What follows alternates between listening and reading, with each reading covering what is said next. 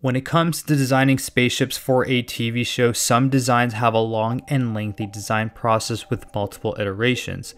This was clearly the case with the Rocinante and the Donnager. However, sometimes the design process is quite straightforward. This can happen for many reasons. Maybe the production knows exactly what they want and the concept artists are able to deliver a final design without many iterations. Sometimes there just isn't enough time and concepts need to be streamlined to fit a deadline. For whatever reasons, the designs of the UNN Nathan Hale were streamlined without many iterations. In this video, I'll be talking about the development and early concept art of the UNN Nathan Hale. Much like other designs, North Front started by creating some quick thumbnails of the Nathan Hale. Do any of these stand out to you? What about Design E? The production clearly liked Design E because a 3D model and a more detailed render was created from that initial sketch. Here is a 3D model of the Nathan Hale. And as you can see, it's pretty simple, but the detail in the final render is put on using various textures and painting overlay techniques. While inspecting the 3D model, I came across a person standing on a platform attached to the ship. This was made for a concept of Fred Johnson looking over the destruction of Anderson Station.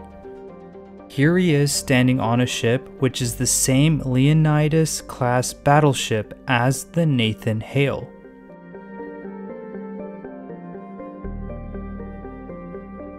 Going back to the exterior of the Nathan Hale, this is the final piece of concept art, with the sketch over here and a 3D model below that. Syfy even posted this piece of concept art to their site. The concept art and 3D model are then sent to a VFX vendor who will finalize the design by rebuilding the model with textures and adding high poly details. Here I have a turntable of the final VFX model. One of the reasons why the UNN Nathan Hale design was streamlined could be because it was designed further into Season 1, when we already established the general look for the ships. Because of this, there is less of an exploration phase like we saw early on with the Rocinante. It could be that the production clearly knew what they wanted and was able to get a quick result because of that.